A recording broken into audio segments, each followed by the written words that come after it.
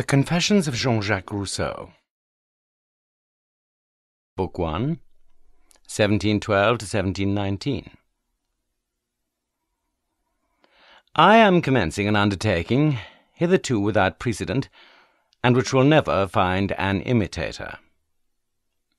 I desire to set before my fellows the likeness of a man in all the truth of nature, and that man myself. Myself alone. I know the feelings of my heart, and I know men. I am not made like any of those I have seen. I venture to believe that I am not made like any of those who are in existence. If I am not better, at least I am different. Whether nature has acted rightly or wrongly in destroying the mould in which she cast me, can only be decided after I have been read.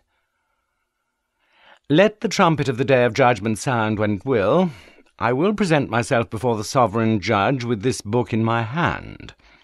I will say boldly, This is what I have done, what I have thought, what I was.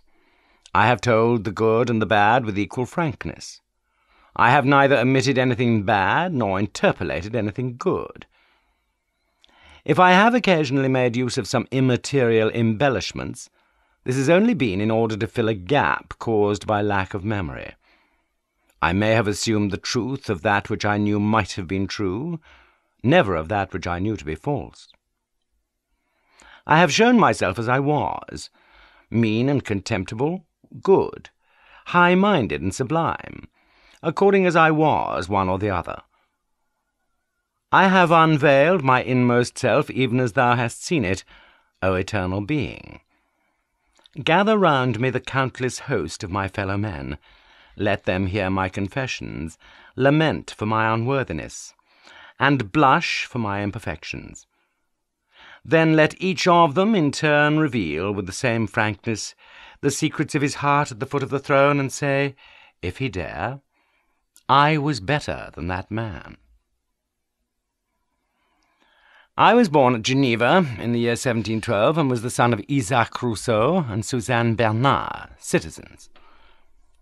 The distribution of a very moderate inheritance amongst fifteen children had reduced my father's portion almost to nothing, and his only means of livelihood was his trade of watchmaker, in which he was really very clever.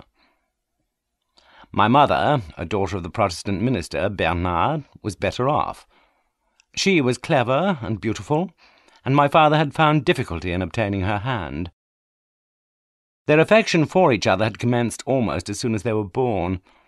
When only eight years old, they walked every evening upon the Treillis. This is a fashionable promenade in Geneva. At ten, they were inseparable. Sympathy and union of soul strengthened in them the feeling produced by intimacy. Both, naturally full of tender sensibility, only waited for the moment when they should find the same disposition in another, or rather, this moment waited for them, and each abandoned his heart to the first which opened to receive it.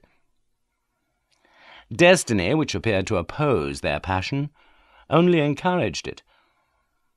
The young lover, unable to obtain possession of his mistress, was consumed by grief.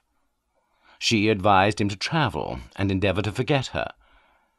He travelled, but without result, and returned more in love than ever. He found her whom he loved still faithful and true. After this trial of affection, nothing was left for them but to love each other all their lives. This they swore to do, and heaven blessed their oath. Gabriel Bernard, my mother's brother, fell in love with one of my father's sisters, who only consented to accept the hand of the brother on condition that her own brother married the sister. Love arranged everything, and the two marriages took place on the same day. Thus my uncle became the husband of my aunt, and their children were doubly my first cousins. At the end of a year a child was born to both, after which they were again obliged to separate. My uncle Bernard was an engineer. He took service in the Empire and in Hungary under Prince Eugene. He distinguished himself at the siege and battle of Belgrade.